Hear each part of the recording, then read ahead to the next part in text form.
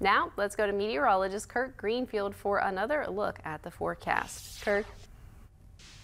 Well, the snowfall uh, came to an end a bit after the noon hour as we started to see a thaw, but now we're refreezing, making driving, well, a little bit of a challenge, even though we don't have a, a, large amount of snow left. Let's take a look at our radar satellite composite. You can see how the uh, freeze has affected it. The computer knows that we are at the freezing point, so it converts everything over to blue and white. And as you can see, there are a couple of different waves pushing through the mid-Ohio Valley here. It looks like we're coming out of the back edge of one of these waves waves that is coming through. As a result, there'll be a period where it will improve. But viewing right now is not the best on the Highmark West Virginia Skycam. 32 degrees, it feels like 23. The relative humidity is 79%. Now the winds out of the west at 13 miles per hour is causing that wind chill, so you want to dress warmly hat, coat, gloves if you're going out tonight. The barometer 29.78 inches is rising.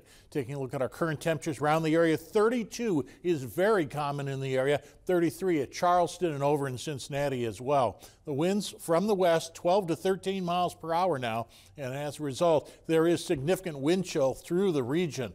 How much different than yesterday? We're about 10 degrees colder than we were yesterday at this same time after that cold front blew through.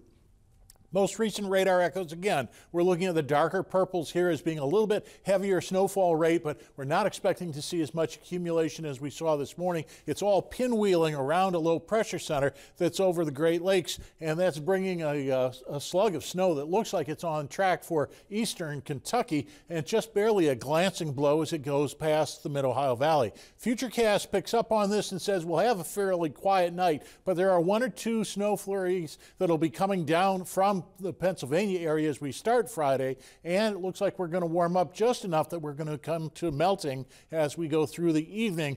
Once that clears, it looks like it'll be fairly quiet and dry into Saturday. So the total through Friday afternoon, less than one inch, a little higher as we get into the hills of West Virginia.